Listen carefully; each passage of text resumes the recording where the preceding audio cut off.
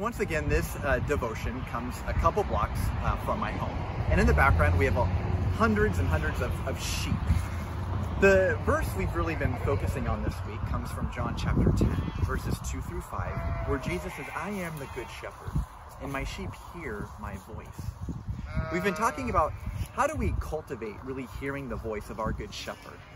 And I believe right now we are uh, uniquely uh, positioned and we have a unique opportunity as things have quieted down to, to hear his voice. Uh, yesterday, we saw a really interesting situation out here where there was one sheep that was completely isolated from the rest of the flock. And, and the sheep were actually calling to him, trying to draw him away from isolation. And it very much reminded me of the passage where Jesus says that he will leave the 99 in order to find the one.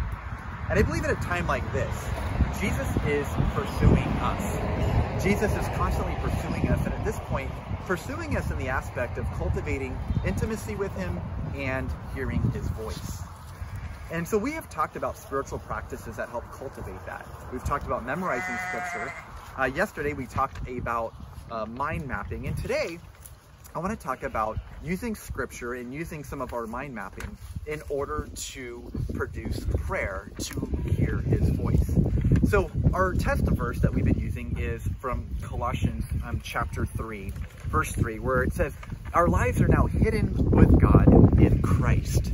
And so this was the mind map that uh, I made yesterday. And so what we can do now in order to cultivate his voice is begin to pray um, some of these different things. So for instance, our lives being hidden in with Christ remind us that we are part of his body.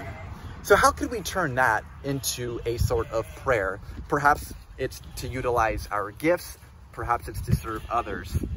And then it talks about well, we should have different interests cultivated, but sometimes that's hard. And so what we can do is begin to use a passage like Colossians 3, 1 through 3, memorize it, do a mind map, and then we can begin to turn that into a form of prayer. And one of the things of writing down our prayers, one of the things it does is it slows us down.